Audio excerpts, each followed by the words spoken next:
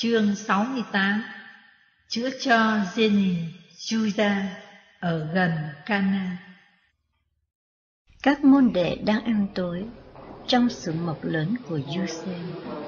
Cái bàn thợ mộc được dùng làm bàn ăn và tất cả những thứ cần đều ở trên đó.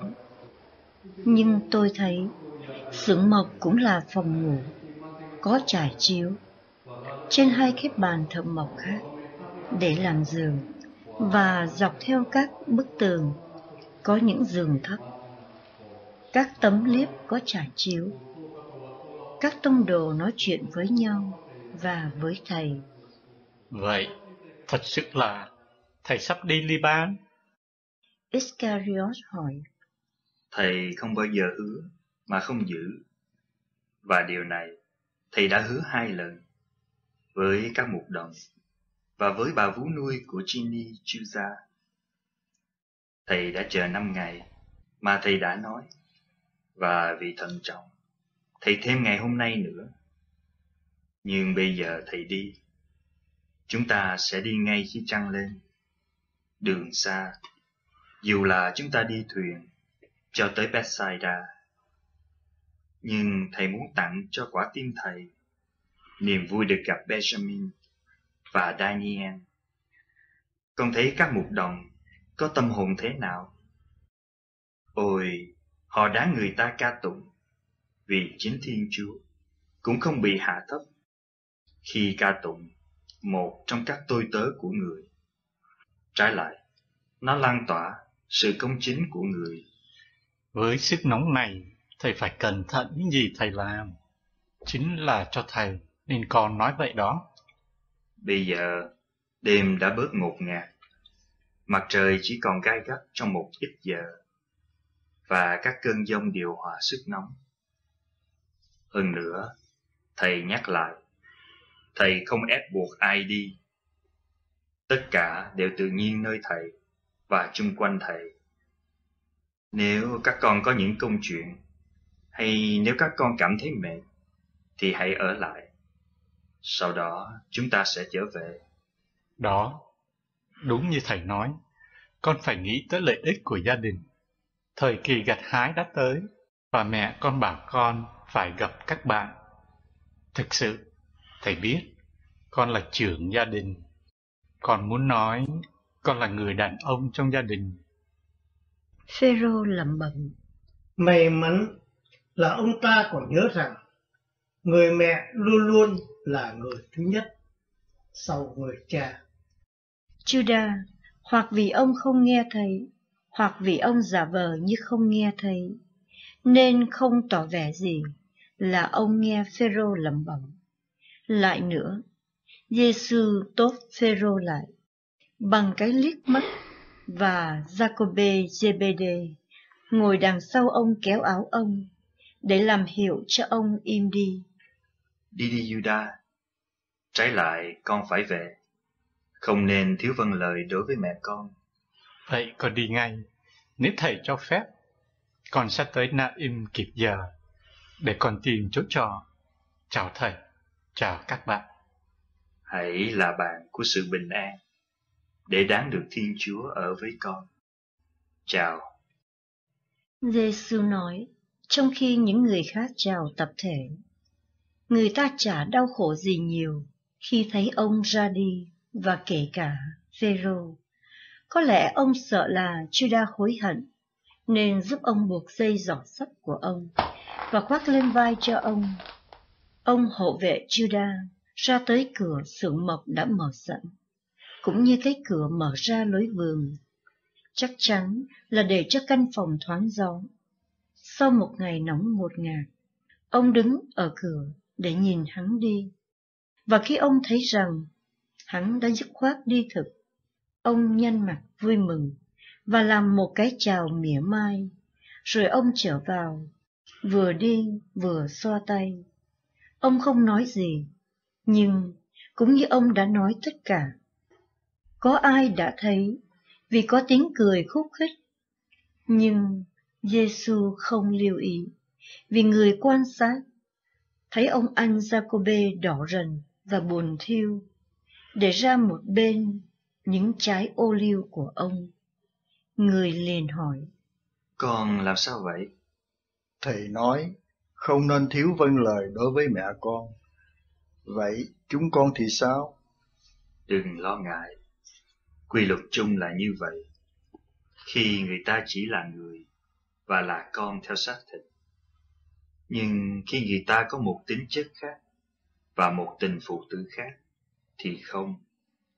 Điều này cao hơn và phải theo những điều nó ước ao và truyền lệnh. Judah đã theo thầy trước con và trước Matthew, nhưng ông vẫn còn chậm ở đằng sau. Ông phải rèn luyện và ông sẽ làm việc đó rất chậm chạp. Hãy bác ái đối với ông.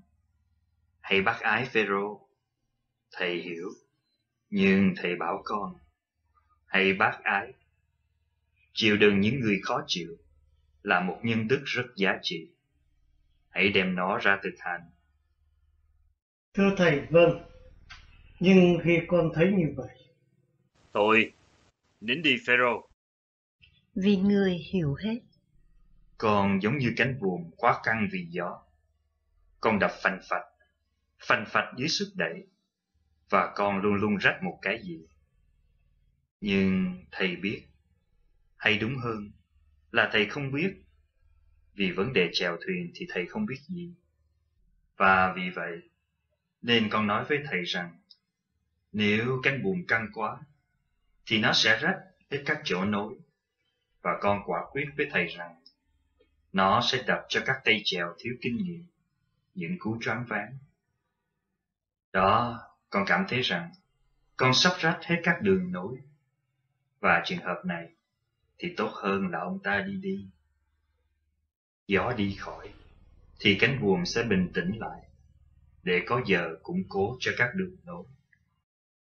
Giêsu mỉm cười, lắc đầu đầy khoan dung cho sự sôi nổi chính đáng của Phêrô. Có sự ồn ào rất mạnh của móng sắt và tiếng nhiều trẻ con kêu ngoài đường. Đây rồi, đây rồi.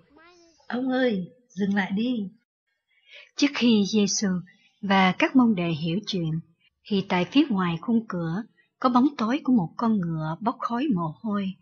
Một người kỵ mã lật đật nhảy xuống và nhào vào bên trong như một ngôi sao xẹp.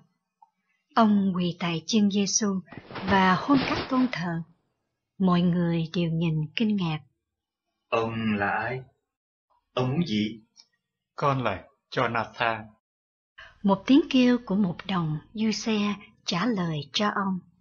Vì ngồi sau chiếc bàn thờ mộc lớn, khi Jonathan xẹt vào, ông không thể nhận ra người bạn của ông. Du xe liền nhào tới trên người đàn ông, còn đang phục dưới đất. Anh, đúng là anh. Đúng. Tôi thờ lại Chúa đáng tôn thờ của tôi. 30 năm hy vọng. Ôi, sự chờ đợi lâu dài. Nhưng đây, bây giờ nó nở hoa, như bông dứa cô độc, bỗng dưng nở ra, trong sự xuất thần hạnh phúc, và còn hạnh phúc hơn. Cuộc xuất thần xa xưa. Ôi, vị cứu tinh của con. Đàn bà, trẻ con và mấy người đàn ông, trong số đó có Anne Sarah. Trong tay còn cầm miếng bánh với phô nát. Họ chen cả vào bên trong phòng. Đứng lên đi, Jonathan. Thầy sắp sửa lên đường đi tìm con, và tìm cả Benjamin và Daniel nữa. Con biết, Đứng dậy, để thầy cho con cái hôn, mà thầy đã cho các bạn con. Và người lôi ông đứng dậy, rồi hôn ông. con biết. Ông già vạm vỡ nhắc lại, một người khỏe mạnh, ăn mặc sang trọng. Con biết, bà có lý, không phải là sự mê sảng của người sắp chết. Ôi, Chúa, Thiên Chúa, đúng là linh hồn nghe thấy khi Thầy gọi nó. Jonathan rất cảm động, nhưng ông trấn tĩnh lại.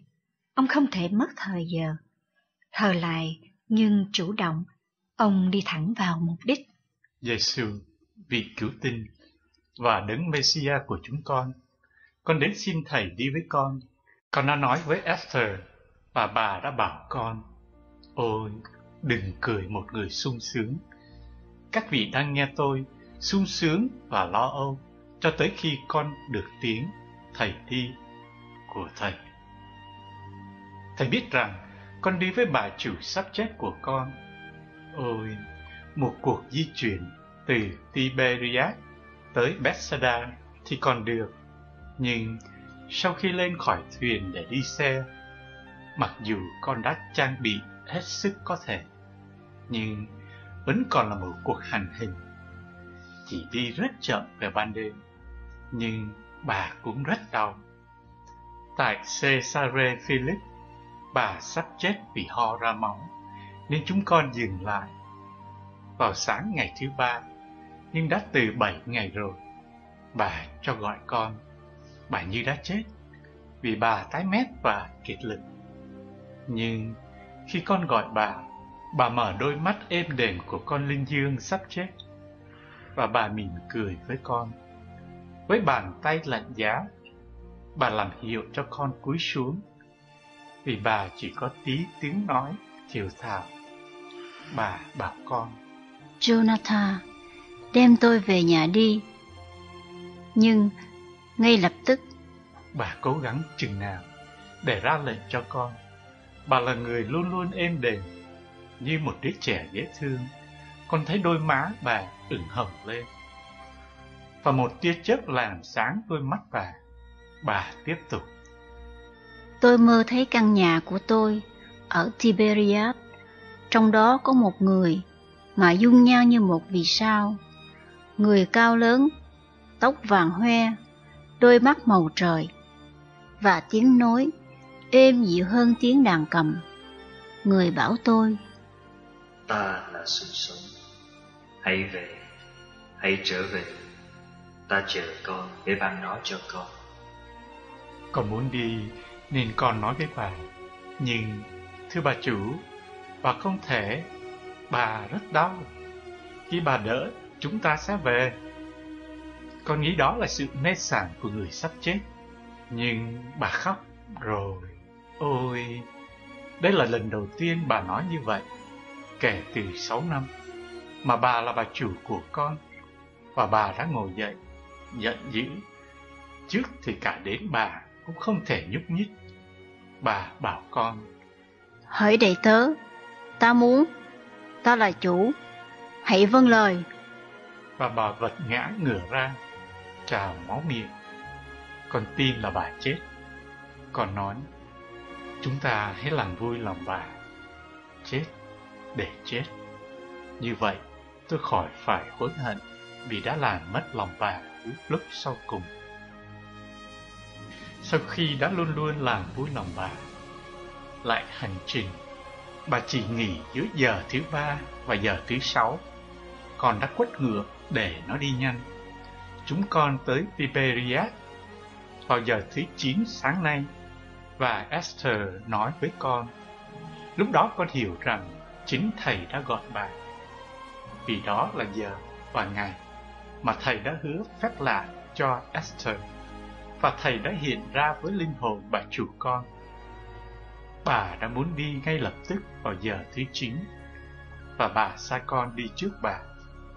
Ôi, xin đến vị cứu tinh của con Thầy đến ngay, đức tin đáng được thưởng. Ai ước cao thầy, thì được có thầy. Chúng ta đi. Thầy chờ tí, con đã quẳng túi tiền cho một thanh niên, và con nói, ba, năm, bao nhiêu con lửa? Tùy các anh muốn, nếu các anh không có ngựa, và lẹ lên, dẫn tới nhà Giêsu. Họ sắp sửa tới, chúng ta sẽ đi lẹ hơn còn hy vọng gặp bà ở gần Cana, nếu ít là... Cái gì, Jonathan? Nếu ít là bà còn sống. Bà sống, nhưng cho dù bà đã chết, thầy là sự sống. Đây là mẹ thầy. Đức trinh nữ, chắc được ai báo tin, đang chạy tới với Maria Anfe theo đằng sau. Con ơi, con đi à? Thưa mẹ vâng, con đi với Jonathan. Ông đã tới.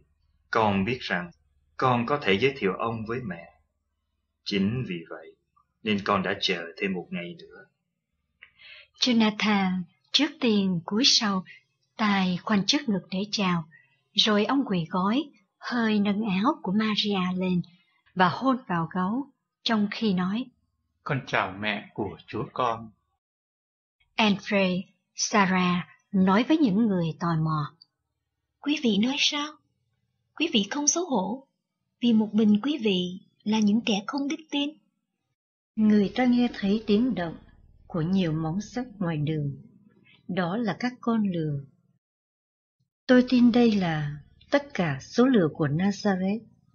Chúng nhiều, đủ để họp thành một tiểu đoàn. Jonathan chọn những con tốt nhất, hỏi giá và trả không buồn xỉn.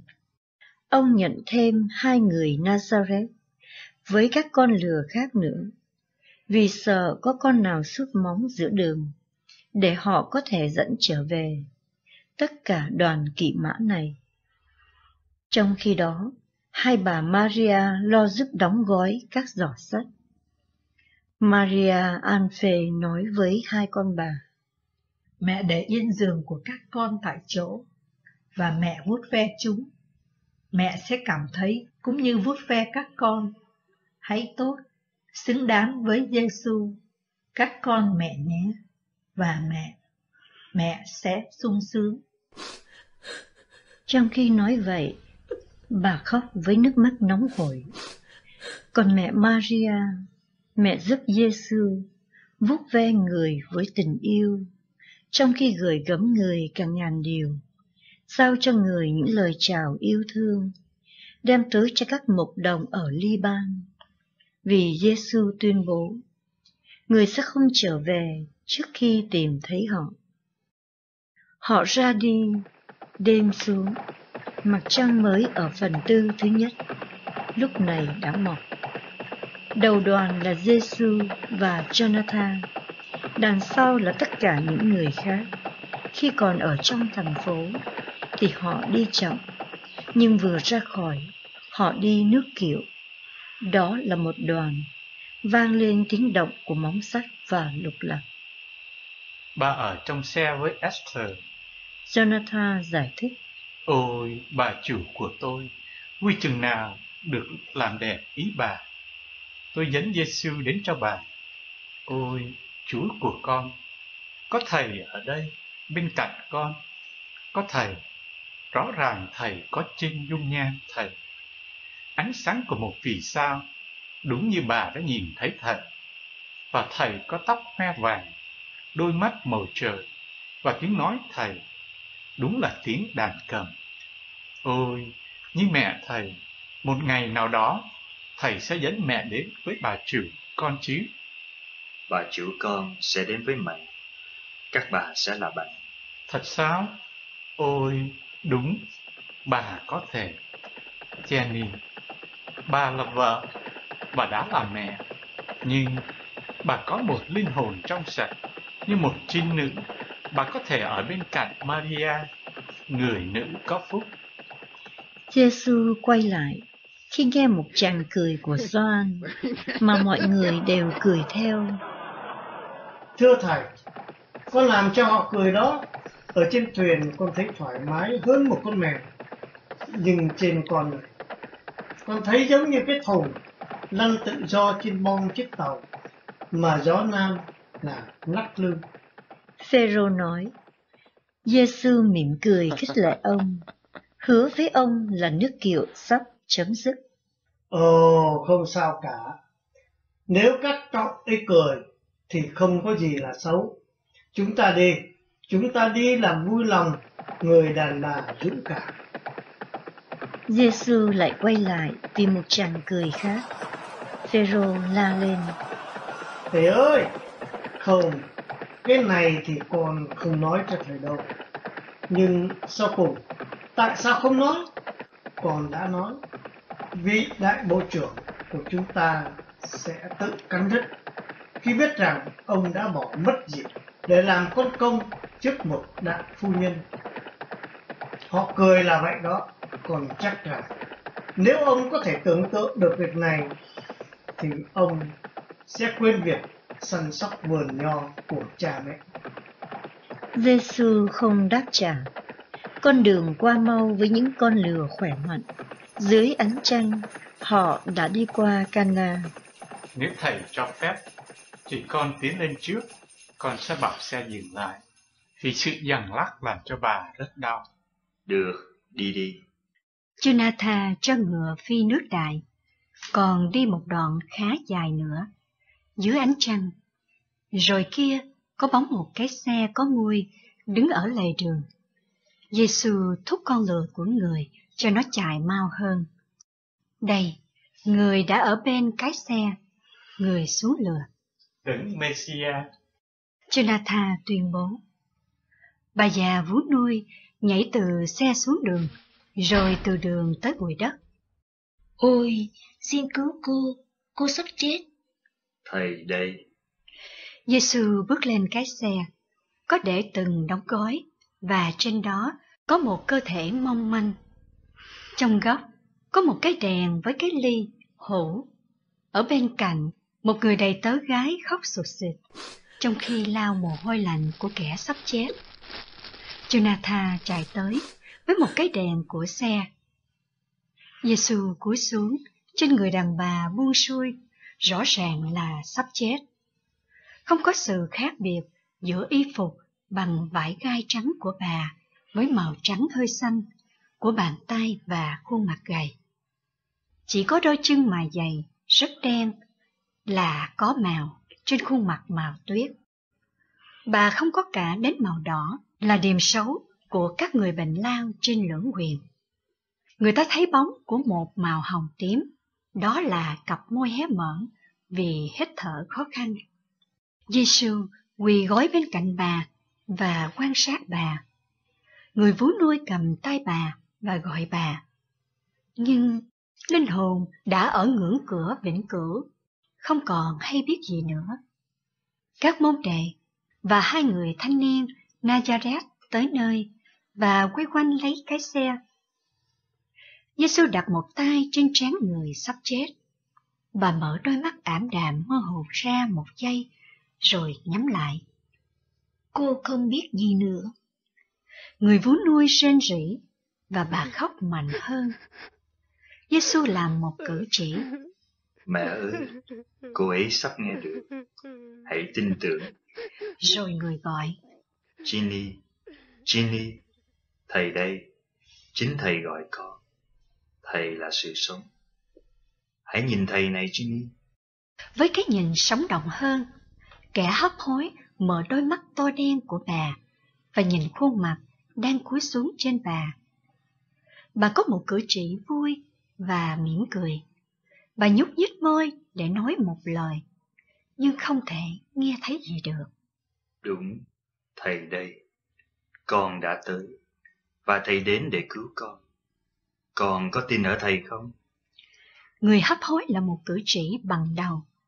Tất cả sinh lực của bà dồn lại trong cái nhìn, nói lên tất cả những lời mà bà không thể biểu lộ cách nào khác. Giêsu vẫn quỳ gói và để bàn tay trái trên trán bà. Người thẳng lên với thái độ của phép lạ. Vậy thầy muốn hãy khỏi, hãy trỗi dậy. Rồi người buông tay ra và đứng dậy. Vài giây im lặng, rồi Jenny chui ra, không một giúp đỡ nào, liền ngồi dậy, phục ở chân Giêsu, kêu bằng giọng rất mạnh. Ôi, yêu Thầy, ôi, sự sống của con, tới muôn đời, cho Thầy, tới muôn đời cho Thầy. Vú ơi, Jonathan ơi, tôi khỏi rồi. Ôi, mau chạy đi nói cho Chuza biết, để ông đến thờ lạy Chúa. Ôi, chúc lành cho con đi, nữa, nữa, nữa. Ôi, vị cứu tinh của con. Bà vừa khóc vừa cười, trong khi hôn áo và tay Giêsu. Ừ, thầy chúc lành cho con. Con muốn thầy làm gì nữa cho con? Không gì nữa, Chúa con, chỉ xin thầy yêu con và cho phép con yêu thầy. Và con không muốn một đứa con. Ôi, một đứa bé. Nhưng Chúa ơi, hãy làm những gì Thầy muốn. Con phó thác hết cho Thầy. Quá khứ, hiện tại, tương lai của con.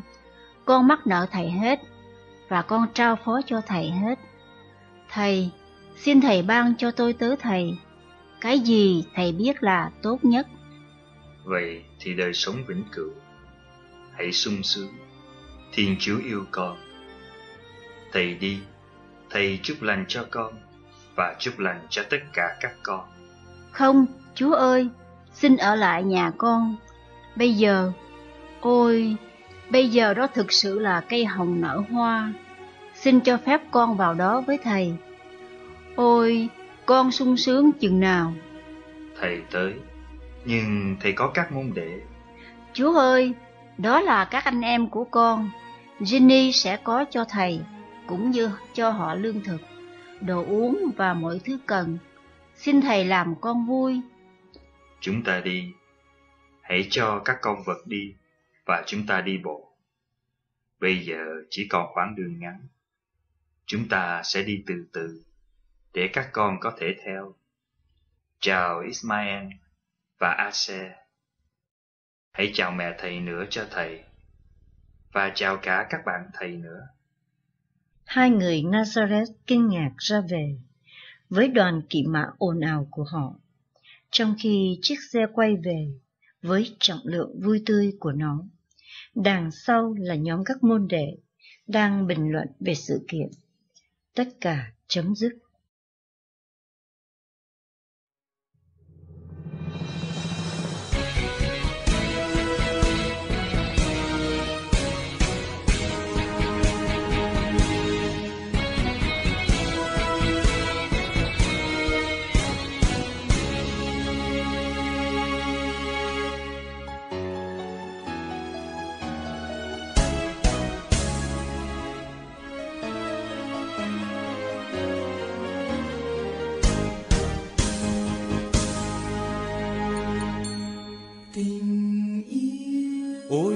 Cao siêu là tình yêu Chúa. Vượt trời cao sông dài biến rộng là tình yêu biến trao thân mình. Để toàn dân được ơn cứu rỗi. Vì yêu vì yêu. Ngài vâng lời thanh ý Chúa Cha. Chết treo trên thập giá và trở nên hy lễ tình yêu.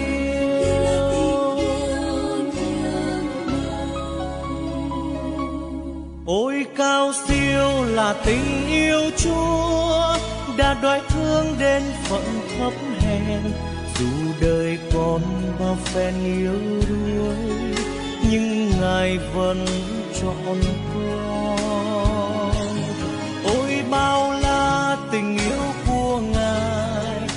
tình yêu vượt mọi tình yêu trọn đời con xin hiến dâng ngài. Để đền đáp tình ngài yêu ôi cao siêu là tình yêu chúa, vượt trời cao sông dài biển rộng, là tình yêu hiến trao thân mình để toàn dân được ơn cứu rỗi.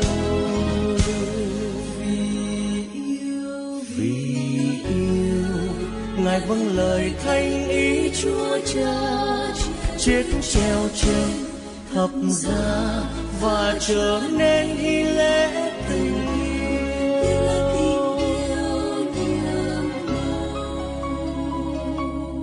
con ngân vang bài ca cảm mến, tình chúa thương con chẳng bên bờ.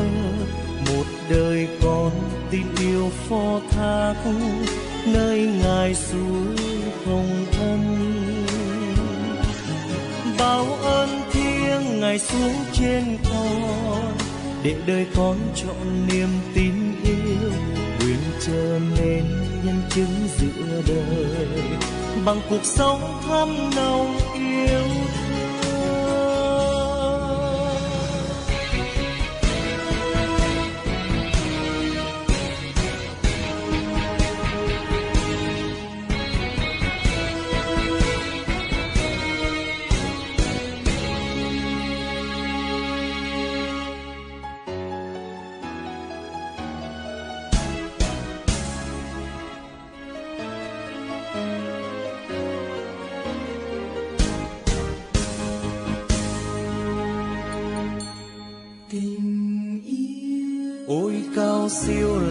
tình yêu chúa, vượt trời cao sông dài biển rộng, là tình yêu hiến trao thân mình, để toàn dân được ơn cứu rỗi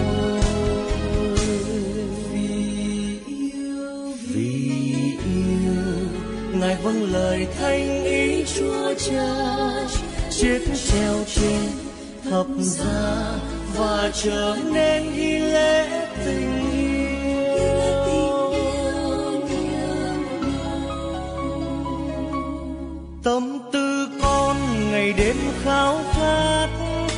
sống vui trong nhà chúa trời. Nguyện từ nay hăng say loan báo tin mừng khắp mọi nơi. Con hân hoan làm chứng cho ngài, giữa chân thế còn nhiều gian nan. Nguyện đời con nên muối ướp đời, để nước chúa sáng ngời muôn phương. Ôi, cao siêu là tình yêu chúa. Vượt trời cao, sông dài, biển rộng là tình yêu. Hiến trao thân mình, để toàn dân được ơn cứu rỗi vì yêu vì yêu, ngài vâng lời thanh ý chúa cha chiếc treo trên thập giá và trở nên nghi lễ tình yêu. Vì yêu, ngài vâng lời thanh ý chúa cha, chết treo trên thập giá và trở nên nghi lễ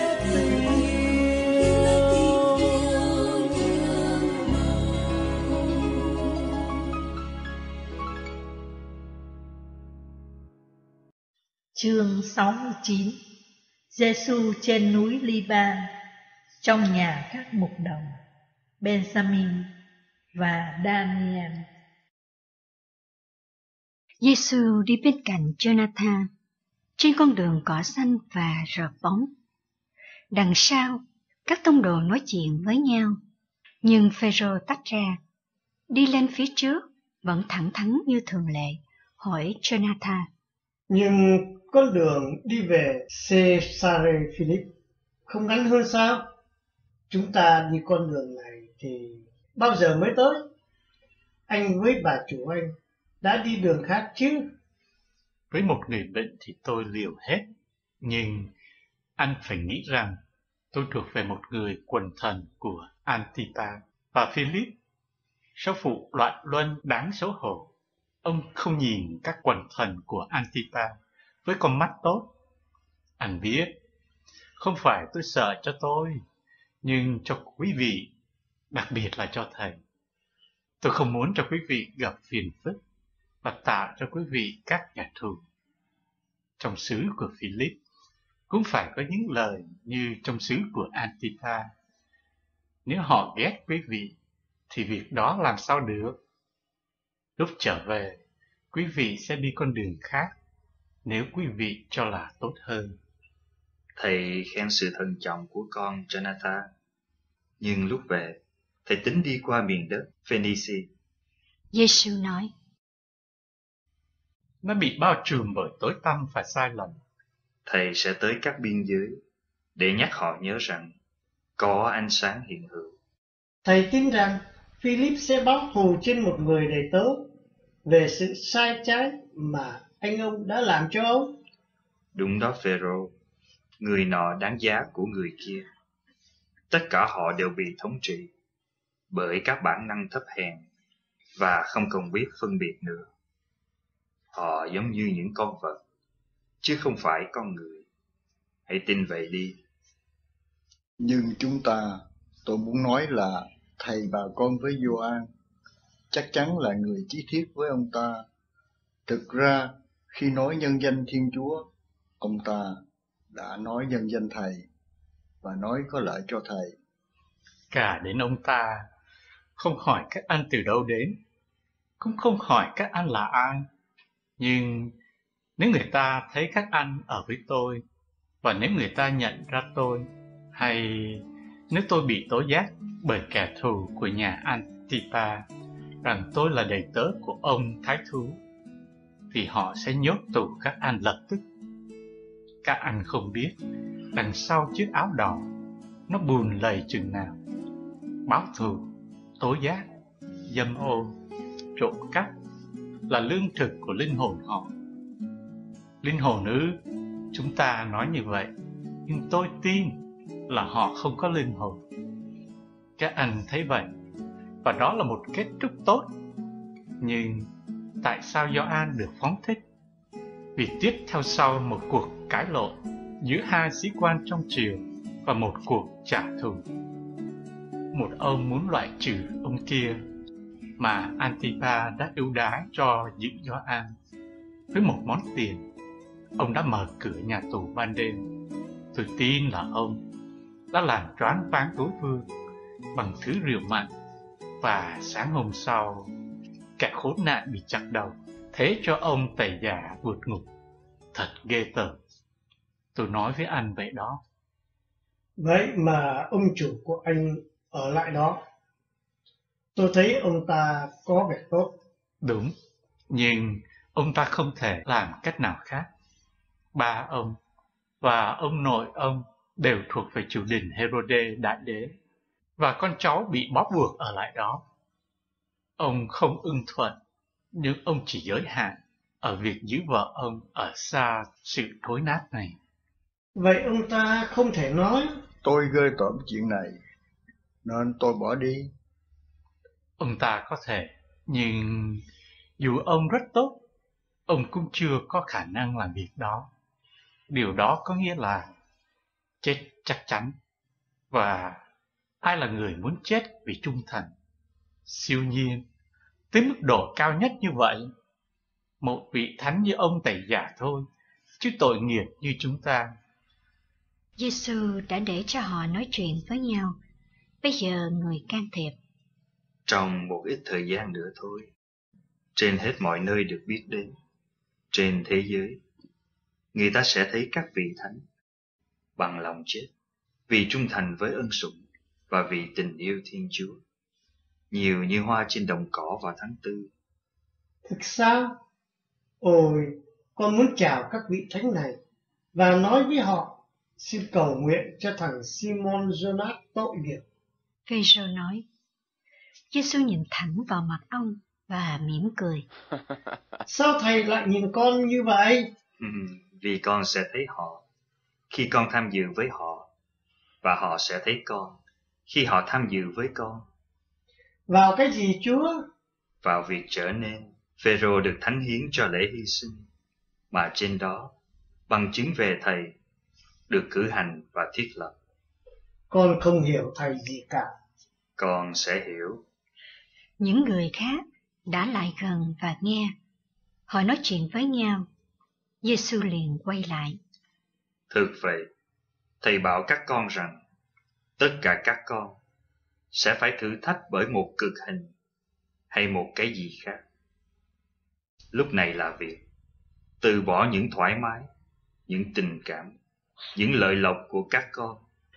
Sau này thì sẽ là những hy sinh càng lúc càng lớn hơn, cho tới hy sinh tối thượng, sẽ đội cho các con chiếc chiều thiên bất tử. Hãy trung thành nhưng tất cả các con sẽ trung thành. Đó là số phận đang chờ các con. Có lẽ chúng con sẽ bị giết bởi các người Do Thái, bởi Đại Pháp Đình, vì lẽ tình yêu của chúng con đối với Thầy. Jerusalem đã rửa các ngưỡng cửa đền thờ của nó bằng máu các tiên tri và các thánh của nó. Nhưng thế giới cũng đang chờ để được rửa. Ở đó có bao đền thờ và bao đền thờ của các thần kinh tử. Trong tương lai, chúng sẽ là những đền thờ của Thiên Chúa thực và bình cùi của ngẫu tường giáo sẽ được tẩy rửa bởi nước xá giải, được làm bằng máu các vị tử đạo. Ôi, Thiên Chúa tối cao! Chúa, Thầy, con không đáng một số phận như vậy. Con yếu đuối, con sợ đau. Ôi lạy Chúa! Tốt hơn là Thầy đuổi tên đầy tớ vô ích này đi, hoặc là Thầy cho con sức mạnh. Thầy ơi, con không muốn người ta làm bẽ mặt Thầy vì sự hèn nhát của con. Phêrô quỳ dưới chân thầy của ông và năn nỉ bằng một giọng thật sự bày tỏ tâm hồn ông. Đứng dậy đi, Phêrô của thầy. Đừng sợ, con còn nhiều đường đất phải đi. Và sẽ đến giờ mà con chỉ còn ước ao hy sinh sau cùng. Lúc đó, con sẽ có tất cả sức mạnh bởi trời và bởi chính mình con. Thầy sẽ đầy cảm phục để nhìn con. Thầy nói vậy thì con tin vậy. Nhưng con là một con người tội nghiệp. Họ lại bắt đầu bước. Sau một lúc gián đoạn khá lâu, tôi lại thấy lúc họ đã bỏ đồng bằng để leo lên ngọn núi cây cối rậm rạp, trên một con đường không ngừng lên dốc. Nhưng đây chắc không phải là cùng một ngày, vì trên đây là một buổi sáng nóng bức. Bây giờ là một rạng đông đẹp đang ló ra, và trên mọi cổng cỏ đều trang điểm một hạt kim cương lỏng. Họ đã đi qua nhiều rừng và vẫn còn nhiều rừng thông, mà từ trên cao người ta thấy chúng như những vòm cung xanh.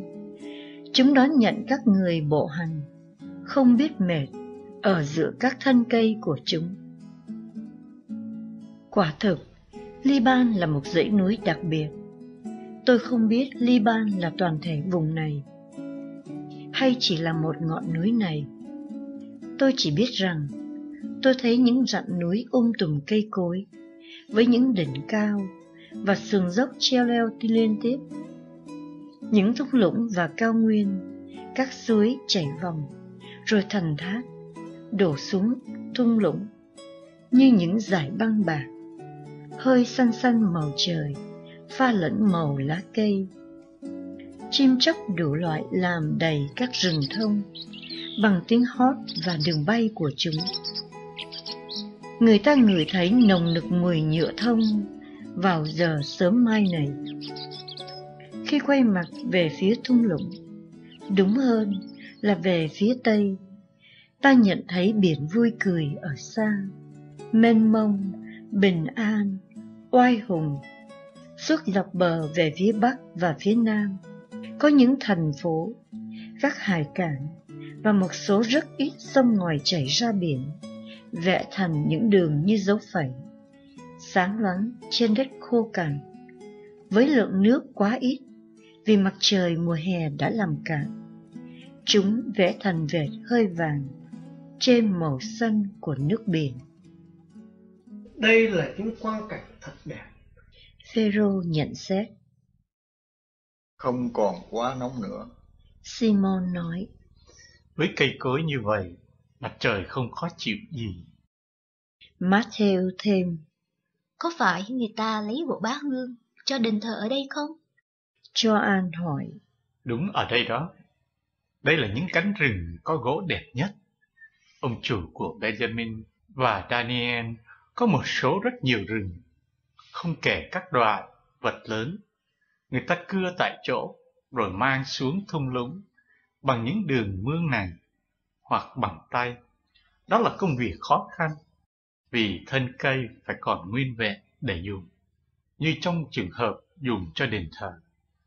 Nhưng ông chủ trả hậu, nên có nhiều người làm cho ông. Lại nữa, ông ta khá tốt, chứ không như cái khứa Doras hung thú, tội nghiệp cho Jonah quá. Jonathan trả lời. Nhưng ông ta làm sao? Mà hầu như tất cả các đầy tớ của ông đều giống như nô lệ. Tôi đã nói với Jonas, thôi, bỏ rơi ông ta đi, rồi đến với chúng tôi. Simon Jonas luôn luôn có bánh cho anh mà. Nhưng ông trả lời. Tôi không thể. nếu tôi không được chuộc.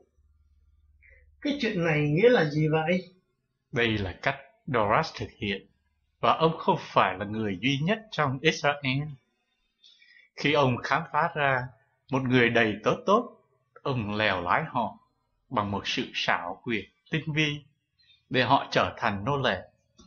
Ông ghi vào sổ của họ những món không đúng mà kẻ khốn nạn không thể trả được. Rồi khi nó lên tới một mức nào đó, thì ông nói, Bây giờ mày là nô lệ của tao, vì nợ. Ôi, đáng xấu hổ. Và đó là một Pharisêu. Đúng. Và Jonas, bao lâu ông còn tiết kiệm được, thì ông còn trả. Nhưng rồi, một năm bị mưa đá, rồi lại một năm khác đại hạn, lúa miếng và nho thu hoạch được rất ít. Doras đã nhân số lỗ lên gấp 10, rồi lại gấp 10 nữa. Rồi Jonas bị bệnh vì làm việc quá mức. Doras cho ông mượn một số tiền để chữa bệnh, nhưng rồi ông đòi trả 12 cho một. Và Jonas không có gì để trả cho ông, lại thêm vào món nợ cũ. Tóm lại là sau vài năm, ông trở thành nô lệ vì nợ. Và ông ta không bao giờ để cho anh đi. Ông luôn luôn tìm những lý do mới và những món nợ mới. Jonathan buồn rầu khi nghĩ tới bạn ông. Vậy ông chủ của anh, ông không làm gì được sao? Cái gì? Yêu cầu sự nhân đạo với anh à? Có ai lại muốn đối đầu với các Pharisêu? Doras là một trong những kẻ mạnh nhất. Tôi tin ông cũng là bà con với thầy cả thượng phẩm. Ít là người ta nói như vậy. Một lần, Jonas bị đánh đòn hậu chết. Khi tôi hay biết, tôi khóc đến nỗi chu gia bảo tôi. Tôi sẽ chuộc ông, để làm anh vui lòng. Nhưng Doras cười vào mũi ông, và không muốn biết gì hết. Ấy, người đàn ông này, ông ta có những vùng đất tốt nhất Israel. Nhưng tôi bảo anh là nó ướt đẫm máu và nước mắt của các đầy tớ của ông. Giêsu nhìn Zelot và Zelot nhìn người. Cả hai đều buồn. Còn ông chủ của Daniel, ông ta có tốt không? Ít nhất là ông ta nhân đạo, ông đòi hỏi, nhưng không đàn áp. Và vì các mục đồng thật thà, nên ông đối xử cách nhân nghĩa. Họ là trưởng của bầy vật. Ông ta biết tôi và kính trọng tôi, vì tôi là đầy tớ của Chu gia, và tôi có thể phục vụ cho lợi ích của ông. Chúa ơi, sao người ta quá ích kỷ như vậy? Vì tình yêu đã bị bóp nghẹt tại thiên đàng dưới đất. Nhưng thầy đến cởi sợi dây ra và trả lại sự sống cho tình yêu. Đây, chúng ta đã ở trên đất của Elise. Các đồng cỏ còn ở xa, nhưng vào giờ này, hầu như tất cả các đoàn vật đều ở trong chuồng vì mặt trời nóng. Con đi coi, xem họ có ở đó không. Và Jonathan chạy đi. Một lúc sau, ông trở lại, với hai người mục đồng tóc hoa râm, lực lưỡng. Họ chạy hỏa tốc trên sườn dốc, để đến với Giêsu. Bình an cho các con. Ôi, ôi, chú bé tí ở Bethlehem của chúng ta. Một người nói, và người kia. Bình an của Thiên Chúa đến với chúng con. Nguyện chúc tụng Ngài. Họ nằm phục trên cỏ. Người ta không bái bàn thờ sâu bằng họ chào thầy. Các con đứng dậy đi. Thầy trả lại phúc lành cho các con. Và thầy sung sướng để làm. Vì nó vui mừng. Để đến với những kẻ xứng đáng. Ôi, chúng con mà đáng. Đúng, các con luôn luôn trung thành. Mà ai lại không trung thành? Ai có thể quên được giờ đó? Ai có thể nói rằng những điều chúng con thấy là không có thực? Ai có thể quên rằng Thầy đã mỉm cười với chúng con trong nhiều tháng khi chúng con trở về cùng với đoàn vật vào buổi chiều. Chúng con gọi Thầy và Thầy vỗ tay theo tiếng sáo của chúng con. Anh nhớ không Daniel? Hầu như luôn luôn mặt trắng trong tay mẹ. Thầy xuất hiện với chúng con dưới tia sáng mặt trời, trong đồng cỏ của Anna hay trước cửa sổ. Và thầy giống như một bông hoa đặt trên tuyết của y phục từ mẫu. Và cái lần đó, khi thầy vừa bước những bước đầu tiên, thầy đến để vuốt ve một con chiên, lông ít quăng hơn tóc thầy. Thầy sung sướng chừng nào, và chúng con, chúng con không biết làm gì với con người cục mịch của chúng con. Chúng con ước, chớ gì được làm thiên thần, để bớt thô kệch đối với thầy. Ôi các bạn ơi, thầy nhìn quả tim của các con, và đó cũng là cái thầy nhìn lúc này. Và thầy mỉm cười với chúng con, giống như lúc đó. Và thầy đã đến tận đây với các mục đồng tội nghiệp. Với các bạn thầy, và thầy rất bằng lòng. Thầy đã tìm được tất cả các con, và thầy không muốn mất các con nữa. Các con có thể cho con người và các bạn của Ngài Chúa Trân không? Ôi lạy Chúa! Thầy còn hỏi, bánh và sữa thì chúng con không thiếu. Nhưng giả sử chúng con chỉ có một miếng bánh thì chúng con cũng biếu thầy. Để giữ thầy ở lại với chúng con. Phải không, Benjamin? Chúng con sẽ dâng quả tim chúng con, làm trung thực cho thầy. Ôi, Chúa rất được ước mong của chúng con. Vậy chúng ta đi, chúng ta sẽ nói về Thiên Chúa.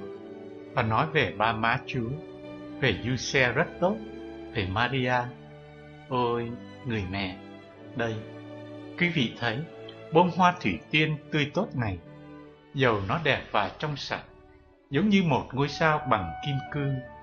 Nhưng, mẹ, ôi, bông thủy tiên này so với mẹ, chỉ là cái gì hèn hạ. Một nụ cười của mẹ đủ thanh tẩy cho quý vị. Được gặp mẹ là đại lễ. Lời mẹ thánh hóa quý vị, anh có nhớ các lời mẹ không, Benjamin? Có, Chúa ơi, con có thể nói lại hết cho thầy. Vì tất cả những gì mẹ đã nói với chúng con, trong những tháng chúng con còn được nghe, đều đã viết ở đây. Và ông đắm vào ngực. Đó là trang sách khôn ngoan của chúng con, và chúng con cũng hiểu, vì đó là những lời của tình yêu.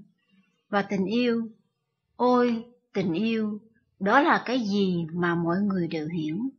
Xin đến, Chúa ơi, xin vào trong nơi ở có phước này và chúc lành cho nó. Họ vào trong một căn nhà ở gần một trường trại mênh mông và tất cả chấm dứt.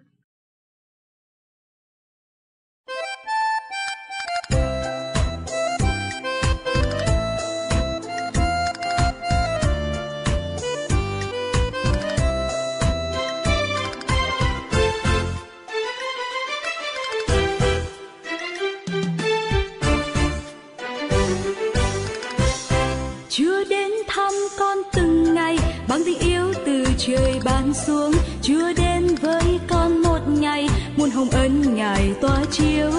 Chúa đến thăm con từng giờ, từng giây con sống trong đời, dìu con những bước tuyệt vời, tình Chúa hơn là biển khơi.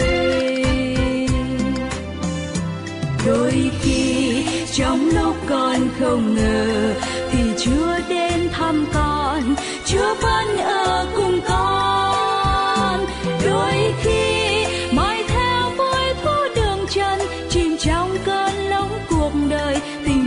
phân âm u con. Chúa đến thăm con từng ngày, bằng tình yêu từ trời ban xuống. Chúa đến với con một ngày, muôn hồng ân ngài tỏa chiếu. Chúa đến thăm con từng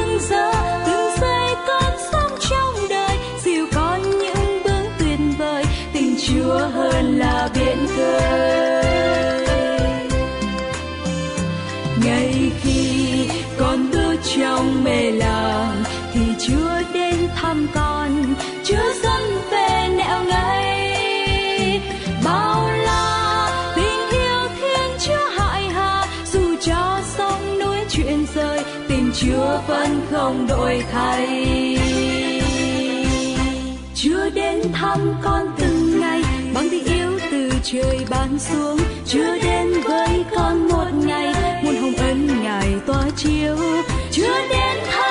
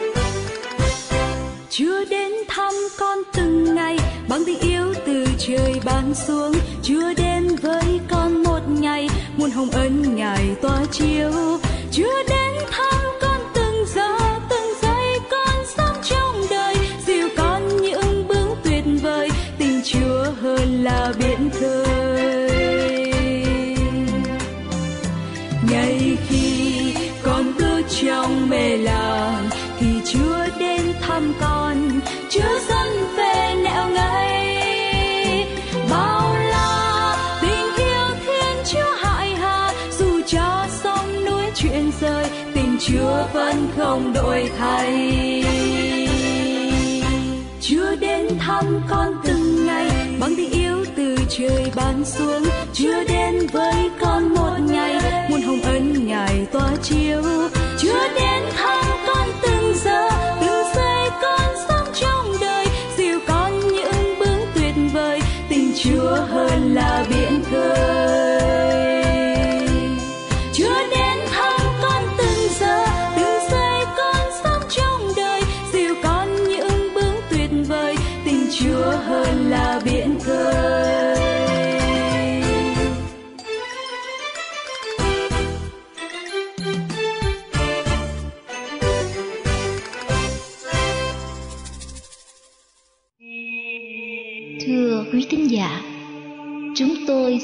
Xin tạm ngưng phần đọc truyền tác phẩm Tin mừng như đã được bén mở cho tôi nơi đây.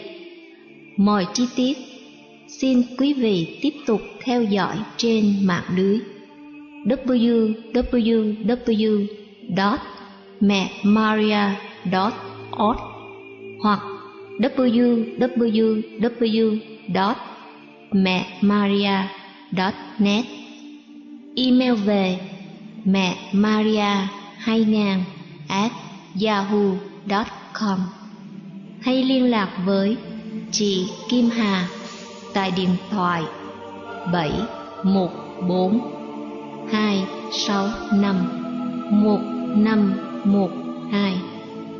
Xin hẹn gặp lại quý vị vào kỳ tới. Amen.